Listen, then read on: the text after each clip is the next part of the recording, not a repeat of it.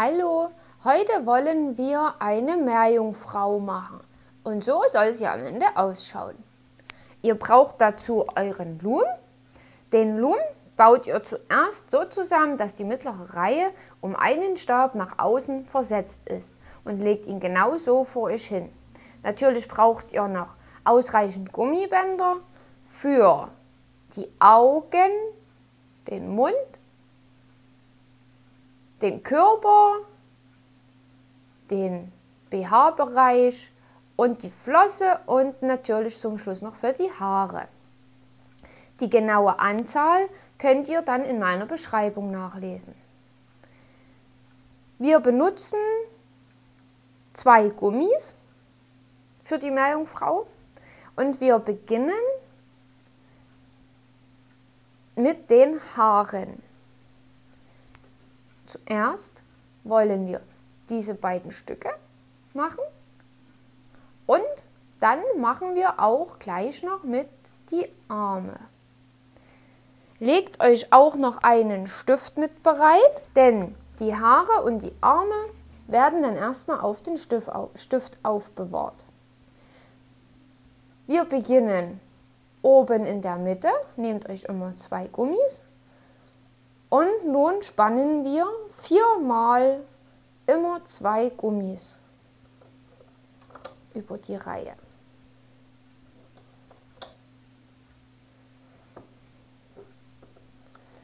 Vier. Wenn das gemacht ist, macht ihr das gleiche auf der rechten Seite noch, noch ein zweites Mal.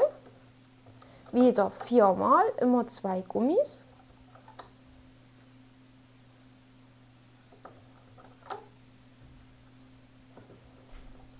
Vier.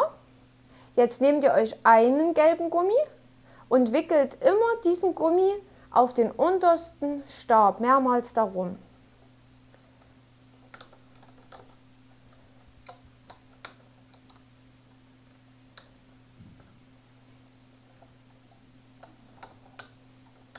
Auf beiden Seiten. Wenn das gemacht ist, nehmt ihr euch nun die Farbe, wie euer Körper aussehen soll und jetzt machen wir noch gleich die Arme. Wieder immer zwei Gummis. Wir setzen in der mittleren Reihe an den nächsten freien Stab an und spannen da auch viermal immer zwei Gummis. Und das gleiche macht ihr jetzt auf der rechten Seite auch noch einmal. Nun nehmt ihr euch wieder einen Gummi von der Farbe und wickelt wieder bei beiden Stäben ganz unten den Gummi mehrmals darum.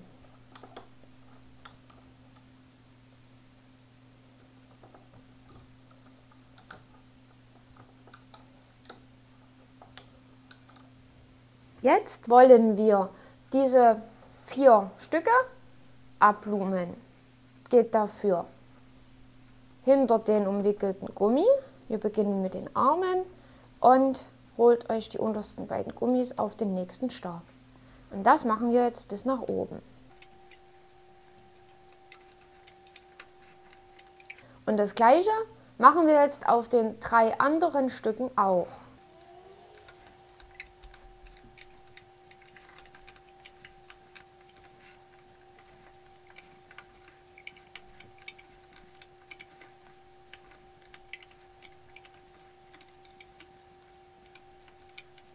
Wenn ihr das gemacht habt, nehmt ihr euch euren Stift und jetzt fangen wir ganz oben an, geht mit dem Stift durch eure Gummis hindurch und zieht die erste Reihe ab. Und das gleiche machen wir jetzt mit den anderen drei Stücken auch. Alle jetzt auf den Stift bringen.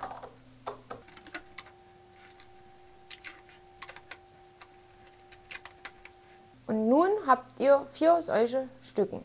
Zwei Arme und beide Seiten für die Haare. Jetzt geht ihr wieder nach ganz oben an euren Loom. Wir beginnen mit dem Haaransatz. Nehmt euch zwei gelbe Gummis. Geht ganz oben von dem mittleren Stab nach rechts. Das gleiche macht ihr jetzt von der Mitte nach links. Oder von links auf die Mitte, so wie es am besten geht, damit es so ausschaut. Jetzt nehmt ihr eure Farbe, wie der Körper ausschaut, also wieder orange. Geht auf der rechten Seite zweimal von den ersten obersten Stab nach unten. Das gleiche machen wir jetzt auf der linken Seite. Nun machen wir noch die mittlere Reihe. Dafür geht ihr dreimal gerade nach unten.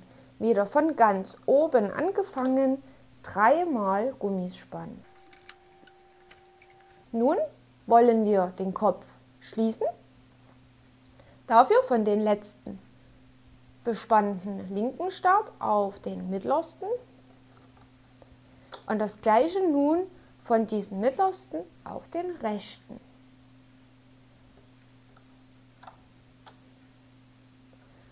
Und das wäre schon unser Kopf. Jetzt gehen wir von der Mitte eins nach unten.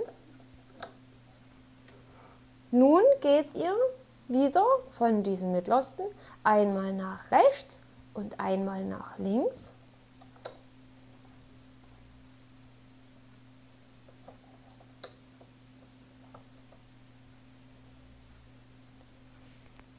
Dann nehmt ihr euch eure Farbe, wie der BH aussehen soll. Nun geht ihr von den rechten bespannten Stab eins nach unten und auf der linken Seite das gleiche. Jetzt wieder eure Körperfarbe, geht auf der rechten und auf der linken Seite noch einmal nach unten. Nun gehen wir in der Mitte von dem Halsbeginn oder wo unser Körper losgeht, dreimal nach unten.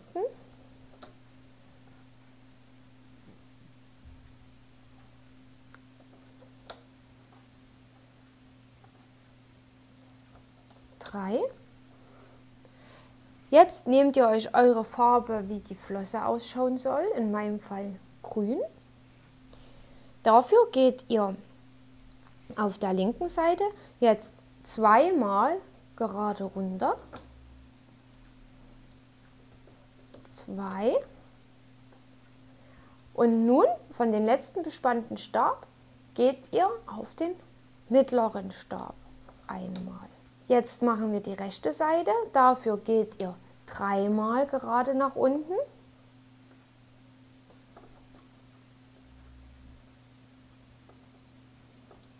3. Und nun von den letzten rechten bespannten Stab auf den mittleren.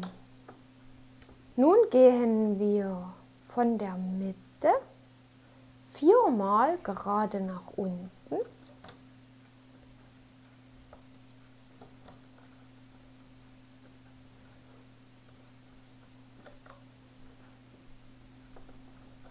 Vier. Nun von diesem mittlersten einmal nach rechts, dann einmal nach links und auf der rechten Seite und auf der linken Seite noch einmal gerade nach unten.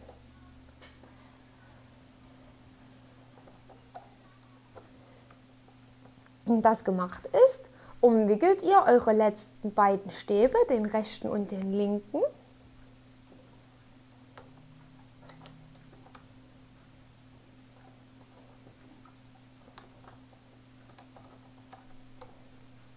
Dann geht er wieder nach oben zu euren Kopf. Nehmt euch jetzt zwei Gummis von eurem Körper,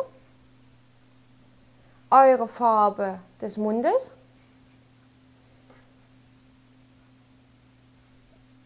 Den Gummi für den Mund wickelt ihr nun dreimal um euren Haken.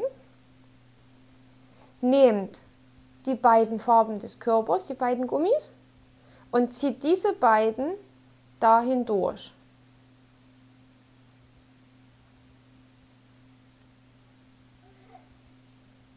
Wenn das gemacht ist, wird dieser Gummi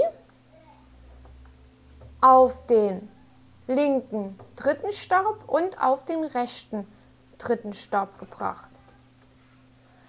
Die linke Seite und auf die rechte Seite. Das Mundstück ein wenig in die Mitte schieben. Und jetzt machen wir das mit den Augen. Dafür braucht ihr nur einen Gummi von eurem Körper, eure beiden Farben fürs Auge. Diese beiden Gummis wickeln wir auch wieder dreimal um unseren Haken. Gleich alle beide. Drei, ein, drei. Nun zieht ihr diesen einen Gummi auch dahin durch.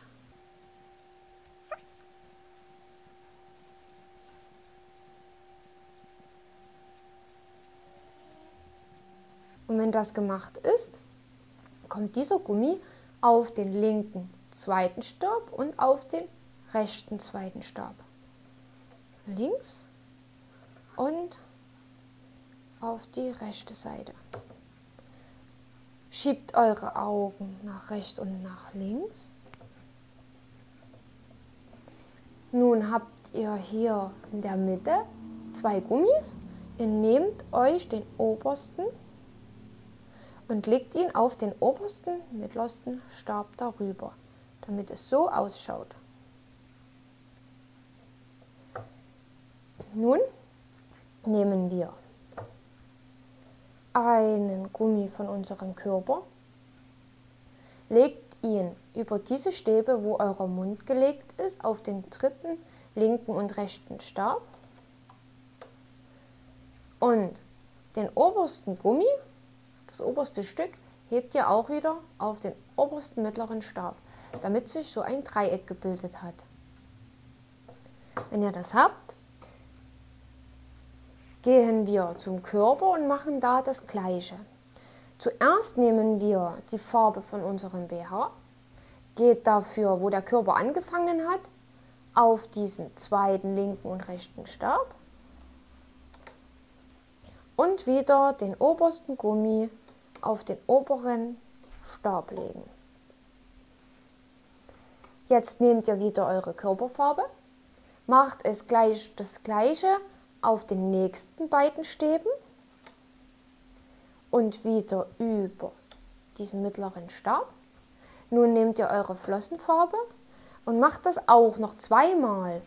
Immer auf den nächsten Stab gehen, darüber spannen und den obersten Gummi auf den mittleren Stab legen.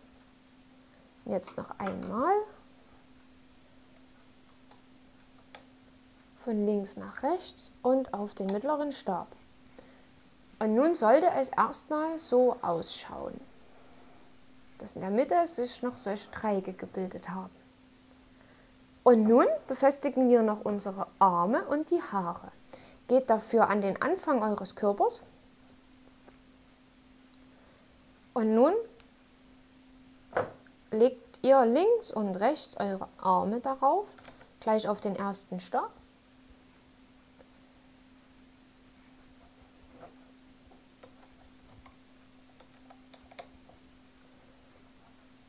Dann geht ihr, dann geht ihr ganz nach oben und macht das mit die Haare das gleiche. Gleich auf den ersten linken und rechten Stab die Haare anbringen.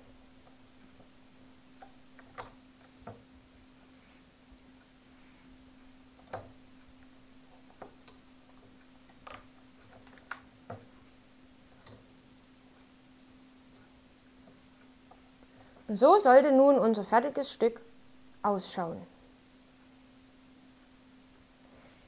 Geht nach unten und jetzt beginnen wir abzulumen. Wir fangen auf der linken Seite an, geht hinter euren umwickelten Gummi und bringt die beiden untersten Gummis auf den nächsten Stab.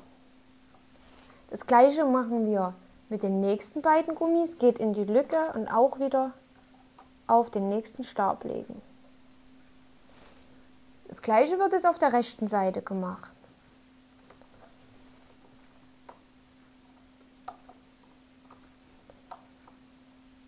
Das unterste Stück, das unterste Stück wäre nun gemacht und jetzt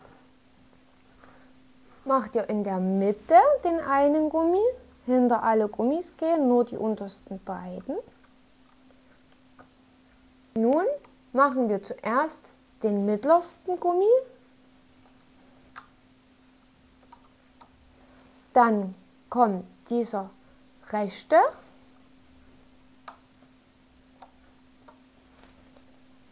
geht ein Stück nach oben. Jetzt nehmt ihr euch wieder den mittlersten Gummi, einmal nach oben. Das wären wieder die obersten beiden Gummis. Und nun den linken Gummi.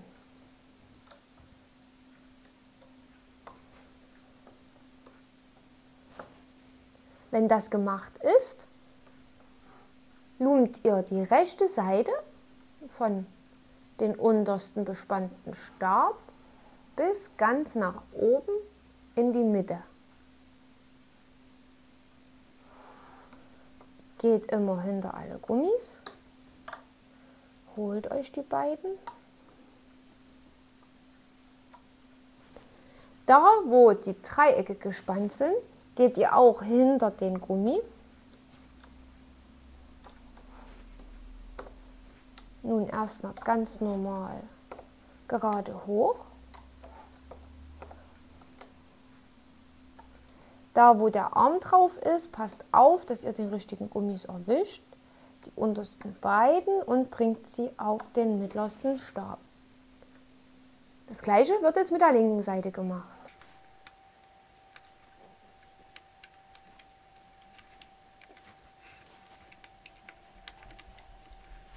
Und nun machen wir die Mitte. Die Mitte wird jetzt von unten bis nach oben zum Anfang des Kopfes, also das kurze Halsstück, machen wir gleich mit. Wir beginnen unten auf die Mitte. Nun von der Mitte das Halsstück, die untersten beiden Gummis. Macht da ein bisschen langsam, weil wir so viele Gummis darauf gespannt haben. Jetzt nehmen wir zuerst die beiden rechten Gummis. Das wären auch wieder die obersten beiden auf den rechten Stab. Nun kommen die beiden linken Gummis, wieder die nächsten oberen. Und nun noch die letzten beiden von der Mitte. Und jetzt lumen wir die linke Seite bis ganz oben ab und die rechte Seite bis ganz oben.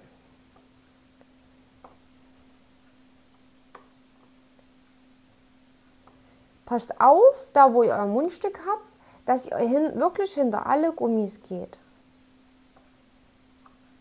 Bei dem Auge auch wieder hinter die Gummis gehen.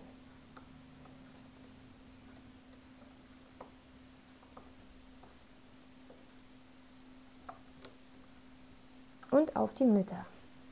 Nun noch die rechte Seite. Und zum Schluss noch die Mitte fertig machen. Wenn ihr das habt, dreht ihr den Loom so, dass ihr den obersten, mittlersten Stab vor euch habt. Nehmt euch nochmal ein Gummi von eurer Haarfarbe, geht mit euren Haken hinter alle Gummis rein zieht diesen einen Gummi dahin durch.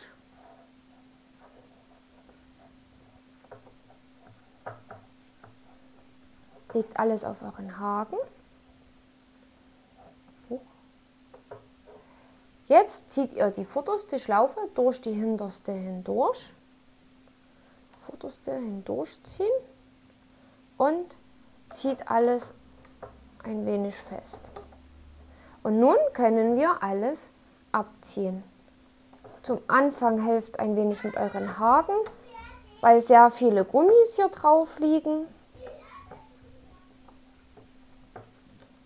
Und langsam alles abziehen.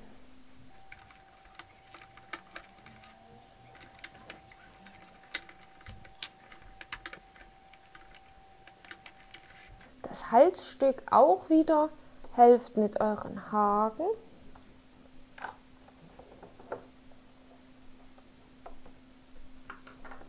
Und alles runter.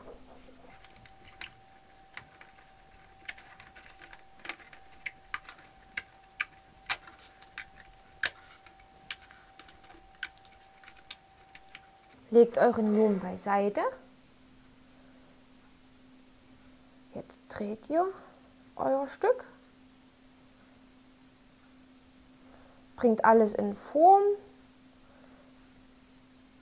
Zieht die Augen und das Mundstück ein wenig heraus.